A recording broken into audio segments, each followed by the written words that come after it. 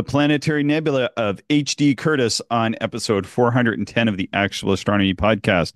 I'm Chris, and joining me is Shane. We're amateur astronomers who love looking up the night sky, and this podcast is for everybody else who likes going out under the stars. We have a new Patreon supporter, Shane. This person really likes to go out under the stars. Let's give him a thank you. Yeah, this one put a smile on my face. Uh, big thanks to Ron, our newest Patreon supporter. And as always, thank you to all of the Patreon supporters. We definitely appreciate it. Um, should I take a read of his Go for it. message? Yeah. So Ron said, I'm a new Patreon supporter, although due to the podcast, I myself may need to ask for Patreon supporters. That's what put a smile on my face. Um, he said, I bought the refractor to get the wonderful wide field views and to be able to set up quickly to do all sorts of observations, including my plans to start studying the moon more carefully. I've just started using the TeleVue NP 101 in the backyard of my Bortle 6 ish skies uh, to get to know the scope. And last night, which was March 14th, uh, I put the scope on the 20% waxing crescent. Uh, boy, was I in for a surprise. The moon was floating amongst a beautiful field of stars. I had never seen this before, and I thought, wow, this is a magical scope. It even shows stars in the glow of the moon. The view was breathtaking. Then I realized it was the Pleiades. Uh, I got my wife out of bed to look at it, and at first she was not keen on getting up, but when she looked through the eyepiece, she was simply amazed seeing the moon floating amongst the beautiful stars. I'm looking forward to getting the scope at, to some dark skies. Fortunately, I can drive to the mountains to get Bortle for clear skies at some altitude. Thanks from Ron. And Chris, I think he has. Does he have a reflector or a Cassegrain? Because I, I thought the NP 101 is like a second scope in his It collection. is, yeah, yeah. He's got a second scope there, and uh, I was just taking a piece of his email Mhm. out, but uh, he's got a 16-inch Explore Science and a Right. Taurus 20-inch f ratio. I feel like it was faster, but I looked on their website; it says 4.2. But for some reason, I think he his was going to be faster, and that's uh, coming to him from Poland. I think in July is his due date. So Wow. uh, asked for an update once that scope arrived because I think that's uh, a scope that is definitely of interest to many people. Uh, Pretty Mhm. cool. yeah. Yeah. So, yeah, really thanks uh, so much for your support, Ron. We really appreciate the part that I liked about his email. We, I didn't put the whole thing in, um, but he, but he, I think the title was best podcast in the universe. So I appreciate that. But I think, I think Ron works in the schools, and I was, you know, asking like who he observes with. I think he should start a school astronomy club. I feel like schools have astronomy clubs often. Yeah, yeah, I think some do. I I think it typically requires a passionate teacher to, you know, that, probably has an interest in their own life in astronomy to to Yeah. you know really make it happen. But uh, it's a great place, and you know who, you know, I, I've never really seen anybody that's not interested in looking through a telescope, and maybe they don't have interest right at the start, but once you show them the moon or Saturn or or you know other objects in the night sky, uh, they become fans very quickly. Nice. Yeah, I agree with that uh, wholeheartedly. We've certainly done uh, lots of work in the schools. I've gone and done presentations to astronomy clubs in schools. Actually, now that I think about it, um, yeah, there's there's usually some. They do require like a passionate teacher, somebody. I think most of the ones that I've been in, they have relatively uh, limited sort of hands-on experience. So usually that's why I'd be getting contacted. But somebody like Ron, who who I do believe works in the schools, I think he would be uh, a great person to start such a venture at the schools. Pretty cool stuff. Mhm. Let's talk about some planetary nebulae or nebula. I always like nebulae. It sounds a little bit more old timey, and as somebody who does probably more old timey observing than modern observing, I like to use that term. Fair ball. Ball. And I should add, I am tired today. I don't know. I, keep, I was telling Shane, I keep waking up at five o'clock in the morning and not being able to get back to sleep. So earlier, earl- earlier this week, I was thinking, you know, there's all that stuff about you see it online, you know, get up at 4 a.m. or 5 a.m. and blah, blah, blah, changed my life, best thing ever kind of stuff. Mhm. No, not for me. Mhm. You know, this is not good for me. This is this is a bad thing. This is day number two. This is the last day I'm doing this in my life. I'm never getting up at five o'clock in the morning again. Yeah, it must be something in the air. That's been my life the last week, I think. I've been up at about five every day and I just cannot figure it out. I think Oh think I think for some people, I think they can do it. Um, but for me, I I need to, you know, sometimes I just need to get up. Like sometimes I just need to get up. I'll just get up, look at the window or something. I don't know, just need to get up and move or something and then go back to bed. Usually what I've been doing for the past long time is getting up at like about five to nine on a Sunday. And uh yeah, that seems to work a lot better for me than getting up at uh five or quarter after five like I did today. But I am getting some stuff done at that hour. But I also find, to be honest, I find I'm not that productive. Like I, I uh, wrote up the show notes uh, for the show that we did with Mark Radici yesterday and did some other stuff. But no, not a great thing. I think I wrote up these notes as well. So talking about planetary nebula, had you ever heard of Heber Doust Curtis or H.D. Curtis before, Shane? No, that does not ring a bell.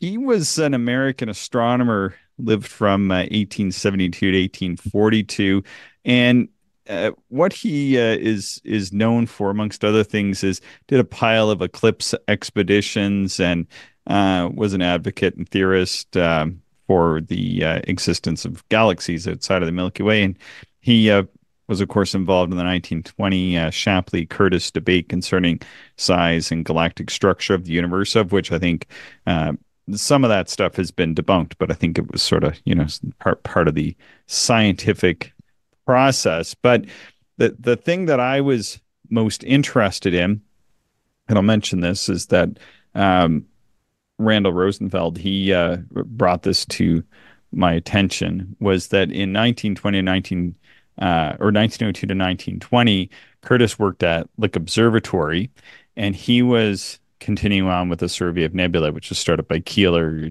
known of, of the Keeler Gap fame uh, on on Saturn. But anyway, Curtis headed up the uh, Lick Southern Station in Chile for a variety of years, and then uh, he uh, returned in 1912 to take charge of the, uh, or 1909 he returned to take charge of the Crossley uh, telescope, which uh, is a, a 36 inch reflector there uh, at Lick Observatory. Lick Observatory um, is just outside of San Jose, California, which wasn't too far from where I was back 25 years ago. And uh, I, I, guess I spent the winter 25 years ago with uh, with the Lick Observatory almost in sight of of my workplace. And so I took a Sunday and and drove up there and uh, and was able to walk around at night. It was too late for the public tours and to get in on the telescope viewing with their uh, their large refractor, which I also think is 36 inch Alvan Clark.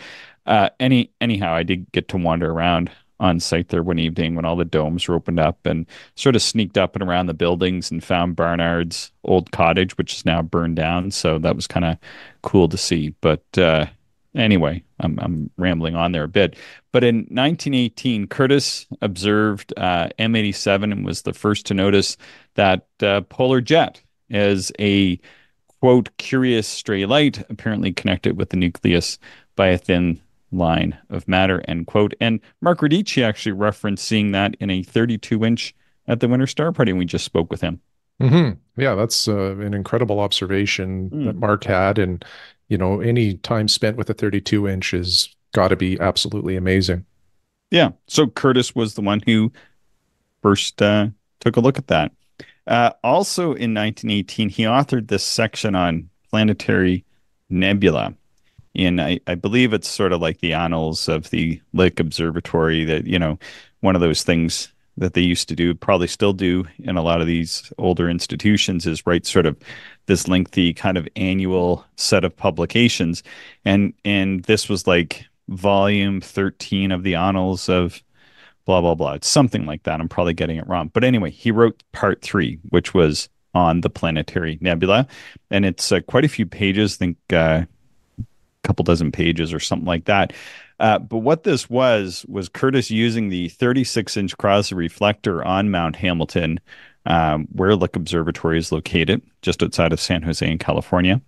And the survey had uh, taken a look at all the planetary nebula north of declination negative 34 degrees south. So Hmm. basically, um, but but that negative 34 degrees south is sort of a declination you and I are familiar with, Shane, because that is just about as far as as from here we can see down to the horizon from Mhm.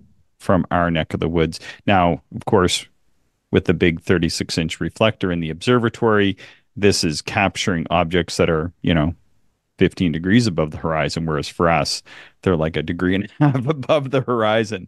However, it does sort of place, um, I think, all of these uh, planetary nebula, of which I think there's about 78 in his list, within uh, within grasp of our telescopes here. Should add that M1 is on the list, which we know is a supernova remnant now. But anyhow, what is a planetary nebula, Shane?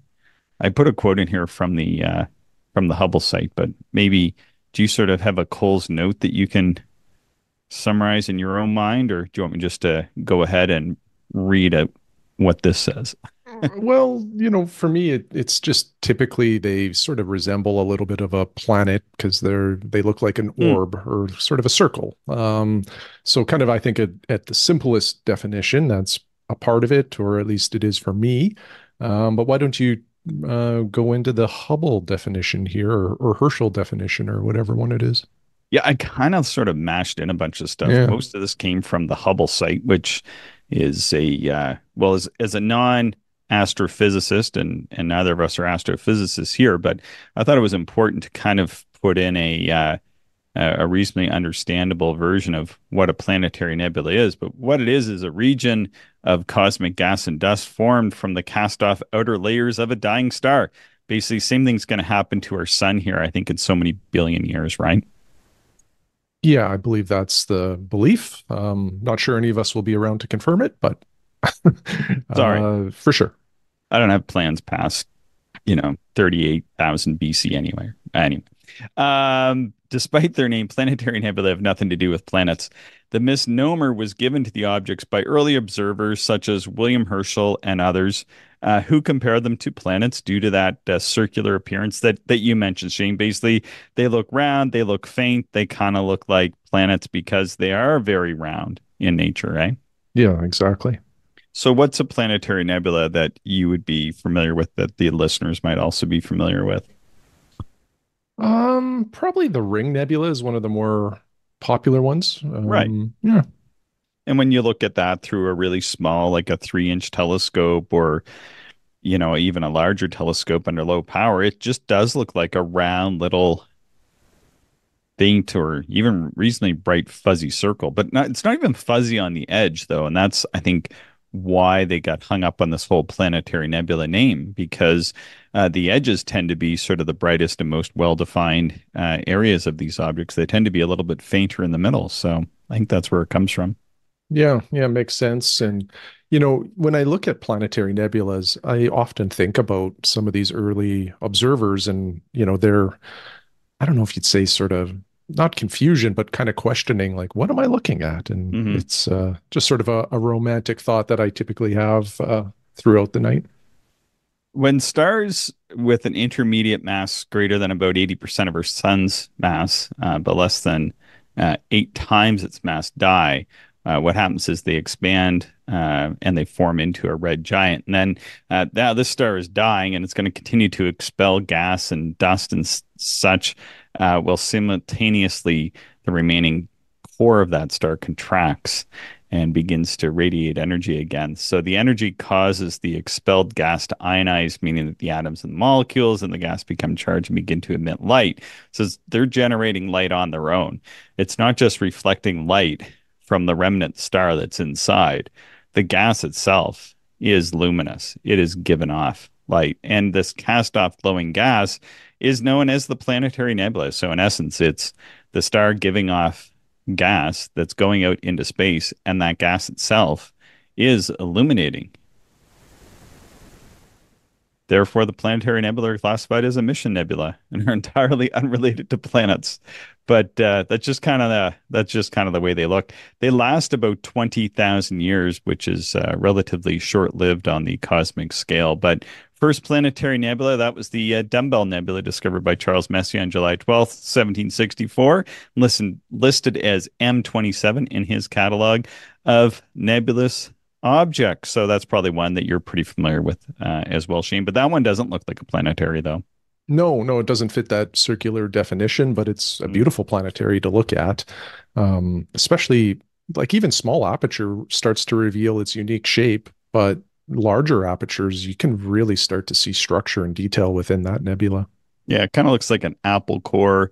Uh, rises pretty high in the northern hemisphere up there in Vulpecula in the summer Milky Way. So, uh, you know, typically an object that most people uh, become familiar enough to find without the aid of star charts or anything. I know I can't remember the last time I ever used a star, star chart to even find M27. I just kind of, I can pretty much just put the telescope right on it, not because I have any special magical skill or anything. It's just that, you know, when you go out hundreds or thousands of nights in the summer or whatever, you eventually just know where that darn thing is. Pretty cool. Mhm.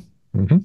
Nature of the planetary nebula remained unknown until the first spectroscopic observations were made back in the mid 19th century uh, by William Huggins, who was using a prism to uh, disperse their light and to study the spectrum of astronomical objects. So, back in 1864, Huggins was the first to analyze these uh, spectra, and in particular, he took a look at the Cat's Eye Nebula. I think that's uh, forget the NGC number, but it's up there in Draco and his observations of uh, of these objects determined that it was these that there were these dark lines that were superimposed over the spectrum. And when Huggins looked at the Cat's Eye Nebula, he saw a strong continuum with absorption lines superimposed, and uh, other similar objects showed the same emission lines. The brightest of these were at wavelengths of 500.7 nanometers, uh, which did not correspond to any known elements. So, at first, the hypothesis was that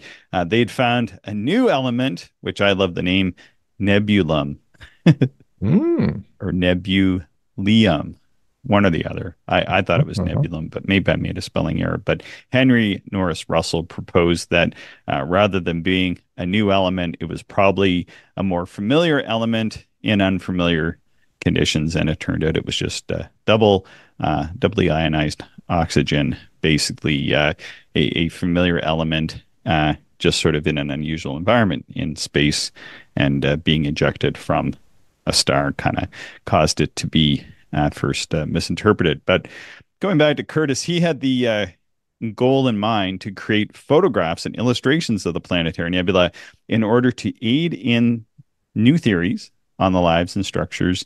And ended up cataloging 78, though, as I mentioned. M1 was among those in his list, later known to be a supernova remnant. Uh, but my friend Randall drew my attention to this and the article, and you can just Google Curtis 1918 Lick Observatory, the planetary nebulae. You can even put part three in there if you want, and and you'll find the article. Read the full citation; it's it's easier. And the reason why Randall sent it to me is that um, well, when Curtis was working on his paper, he was trying to create um, these really detailed drawings because the photographs from the Crossley of the small nebulae were difficult to enlarge. So typically, what uh, they might do, even to this present day, I, I you know, w- would would think, but maybe less so because of modern equipment and techniques and such. But back in the day, they would take that photograph on the plate and then go through an enlargement process to make it bigger and easier to study. That that worked well with certain things, and especially like larger planetary nebula, like M27 or the Helix or ones of of that sort, ones that are larger than 30 arc seconds. However, with these smaller ones, tiny ones like NGC's six thousands and seven thousand objects, um, you could still see some detail. And so what he was doing is drawing those out. And so Randall mentioned that uh, I might be interested in what he had to say. So what Curtis has to say about this drawing process of actually using photographs to draw, which actually this kind of dovetails nicely to what Mark was talking about drawing from his computer screen, which many people might uh, think is sort of a funny thing. But I was thinking about this when Mark was talking, is that he is kind of like in a way carrying on a modern tradition of transposing what you see with your eye, whether it's on a computer screen or a photograph, and then creating a, a, a, recreation of that. So Curtis goes on to talk about this. He says, in many cases, the sketches give a better idea of the sum total of the structure features of a planetary nebula than an enormous than an enormously enlarged photograph could have done. So I was interested from a sketching perspective, but uh, taking a look at all these planetary nebula was uh, pretty neat because most lists uh, for planetary nebulas that I've thought about accomplishing are uh, going to have objects that are below our horizon or too low. Whereas I think this is a nice list for somebody like like me that lives up here in Saskatchewan because theoretically, Shane, I can see all of these through uh, through my telescope at my observatory. so I like that idea. Hmm. Is this something you're pursuing then? Oh yeah, for sure. Yeah, I'm going to pursue this one.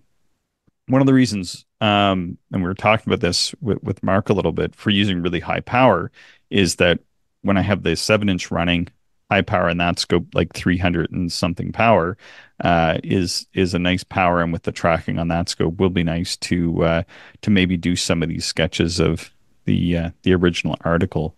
So I'm kind of interested to do that. Some of them are big, some of them are small, and O3 filters help make observations of planetary nebula uh, much easier. Do you have an O3 filter? You... Yeah, I've got uh, a couple. I think I have an inch and a quarter and uh, a two inch as well. Mm. And have you tried those on any planetaries? I don't think I have. I, I don't use the O3 all that often. Oh, I don't use filters all that often, just to put that out there. But the O3 is probably it, it just doesn't get into my optical path. It, if I put something in, it's usually the UHC. Yeah. Uh, when I use the O3, it's probably for like the veil, you know. Um, and I don't, I just don't use filters enough to probably even warrant owning it, to be honest. Yeah, I put them all on a slide. I use them quite a bit. I had them in my slide filter on the uh, the refractors, and then you know, kind of just put them out on the uh, what do you call it? The sort of the back. What's the thing that comes down in the back of the truck? Tailgate. Anyway, the tailgate. That's it. And just put them on his tailgate, and then we use them when we're using his uh, 12 inch telescope. But the O3 filters, um, they help because they're designed for diffuse and planetary nebulae. The O3 filter um, is a narrowband filter, and that isolates the two doubly ionized oxygen lines of 496 and 501. And as mentioned, um, that that peak uh, earlier that was uh, discovered by Huggins was at 500.7. And so these filters are specifically designed to work very well for planetary nebula. One of the other things, which is a little bit odd with the planetary nebula and the filters, is uh, especially once you get eight inch or 10 inch scopes, or you know, hopefully even a seven inch refractor, um, be able to uh, to use much higher power than than you typically might otherwise with a filter. It uh, you leave that in, you can still see quite a bit of detail. So to observe uh, planetaries, one can use a combination of wide field for the targets as well as high power. Some of the ones on uh, the list that Curtis has are the Helix, uh, which is in Aquarius. We've got M57, of course, up in Lyra. Talked about M27. Um, also, something like the Lemon Slice. Uh, and then as well, there's just like this whole long list of different objects that Curtis has in his um, in his list. I thought I had it open here, but maybe for some reason I had closed it down. But he's got all kinds of really tiny. He's got all kinds of really tiny targets that he put in in the list, and it's also really neat. I was able to find a website. Um, I didn't mean to put that in. I had meant to put that in my notes as well, showing um, like where everything is in the nighttime, uh, all these targets are in the nighttime sky, as well as many of the sketches that uh, that Curtis had done. Because in the article, unfortunately, uh, they're a bit too too dim, sadly. But uh, anyhow, that's uh, that's kind of my little bit there on some planetary nebulas that uh, I'm sort of taking on as a, as a bit of a project, just to sort of warm up the new scope once I get it up and running. So nebulas and high power, I think, uh, goes hand in hand with uh, having a nice refractor to use. Yeah, for sure. Yeah. How about you? Do you have any uh, sort of astronomy and observing plans for uh, for the upcoming season once we get into warmer weather? Well, so I usually I do, yes, uh, and I usually um, come at it from two different ways. You know, what can I observe from my light polluted backyard? And I'm nearing the end of the RASC double star uh, list. I only I only have two more of the winter stars and then a handful of uh, spring and a, a, small handful of summer ones to observe. So I'll be finishing that soon, and I need something new for the backyard. So I'm going to start looking at uh, different open clusters. Um, mm-hmm. So I have a, a list that I'll be working through there. And then for the dark skies, I'll just continue working through uh, O'Meara's hidden treasures uh, until that one's complete. Yeah. Yeah. I was able to find my uh, the planetary nebula by Curtis. Yeah. So there's a lot of different ones that he lists here, like NGC 6543, um, NGC 6445, 6563, all kinds of ones I've never looked at before. Some of them look almost stellar. Um, some of them do look pretty big and interesting. 6572 and then like i just a lot of the time when i've looked at planetary nebula it's just uh 6620 i don't think i've ever seen. 6629 i think i have seen i think that one's up in cygnus. Some of them are pretty small. 6644 of course that's going to be a little bit low down negative 25 but uh yeah i was just thinking a lot of these are going to be objects that uh I just probably haven't seen before and definitely haven't hunted down myself. They might have been other in other people's telescopes or something. And anyway, I just thought it would be a, be a neat project to tackle. But yeah, some of these I've never six seven nine zero, pretty small one. Six eight oh three looks pretty good. Six eight oh four looks pretty good. Six eight oh seven is tiny. But yeah, the list just goes on and on. Seventy eight of these. Then we got 6879 doesn't look too bad. Looks like it has some extension. 68881 looks pretty good. Looks pretty big. Um, yeah, so it's a pretty nice list of people that are interested. It's just under the Harvard abstracts. If people want, they can even search for me. I've got, I think, 30 reviewed articles in the Harvard abstracts and all kinds of weird and wacky observing projects. I think when I write, what I like to do is sometimes take an article like this, Shane, and if I can, this would be probably my my most ambitious one of these yet is is to take an article like this from Curtis, and if I if I can if I can do it, is to go through and do all the sketches, and then do like a reply to his article, and then it would go into the Harvard abstracts, like get it published in a journal, and then it would go into the Harvard abstracts. So when someone searches for that paper, they would see his, and then they would see my paper with all like my own janky sketches from 2024. Uh, you know, basically, you know, 105 or 106 years after the publication of of his work. It's kind of neat to uh, to do something like that sometimes, just for fun. Mm-hmm. So that's it. That's my little project. That's what. Uh, what I'm working on here. I'm just trying to get back to my notes. I don't think I ever will, but uh, yeah, just a little fun project that I thought people might be interested in. Yeah, cool. Yeah. Do you have anything to add before we conclude this short show? That is all, Chris. Well, thanks for listening, everybody. Be sure to subscribe. Send us send us your show ideas, observations, and questions to actualastronomy at gmail.com. Thank you, everyone, for listening, and we hope you enjoyed the show. If you are interested in more information, would like to contact us, or if you would like to support the podcast, check out our website, actualastronomy.com.